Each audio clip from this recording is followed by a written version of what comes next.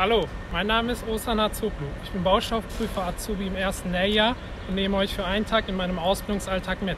Kommt mit!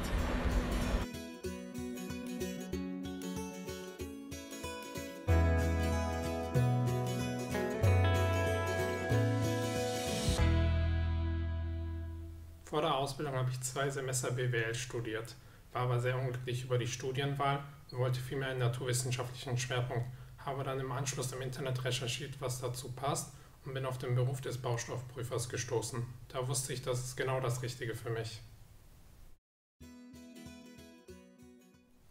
Baustoffprüfer bei der MC werden rein in den Laboren eingesetzt, zum Beispiel im Betonlabor, wo neue Zusatzmittel für Beton entwickelt werden, in der Qualitätsstelle wo die Qualität der Produkte sichergestellt wird, oder auch im Labor für mineralische Baustoffe, wo neue Produkte entwickelt werden. Heute werden wir Betonversuche machen für ein neu entwickeltes Zusatzmittel von der MC Bauchemie.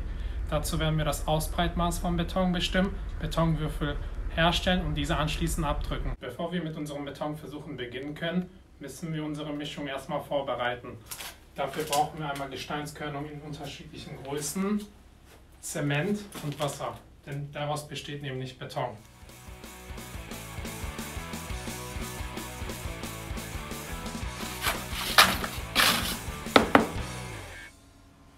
Wie man hier schön sehen kann, sieht man, dass der Beton viel zu trocken ist und er wäre so unmöglich zu verarbeiten auf der Baustelle. Deshalb geben wir unser neu entwickeltes Zusatzmittel hinzu.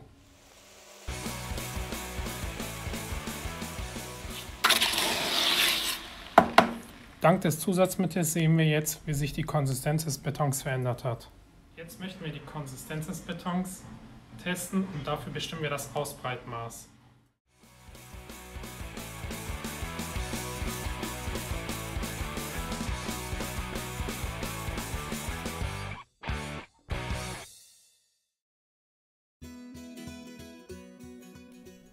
Die Ausbildung zum Baustoffprüfer dauert drei Jahre und ist dual organisiert.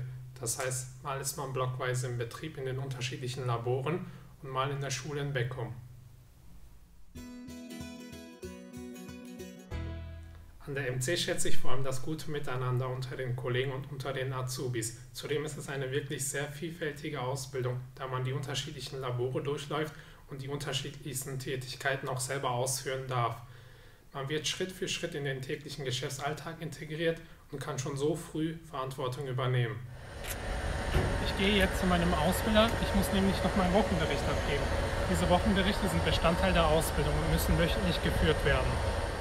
Mahlzeit, Herr Panderlein. Mahlzeit, Herr Sohl. Ich habe noch meine Wochenberichte für Sie. Super, vielen Dank. Werde ich mir gleich angucken. Kommen Sie mit in die Kantine noch was zum Essen holen? Sehr gut, ich habe schon Hunger.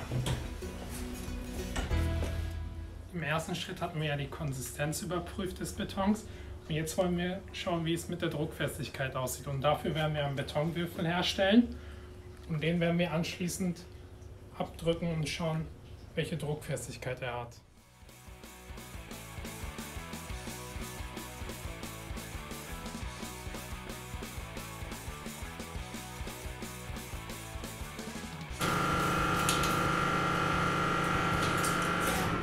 Das war dann auch schon der letzte Versuch für heute. Wir haben die Druckfestigkeit bestimmt und die war wirklich sehr gut. Ich gehe mich jetzt umziehen und ich hoffe, ich konnte euch einen Einblick in den Beruf des Baustoffprüfers geben. Vielleicht sieht man sich ja demnächst.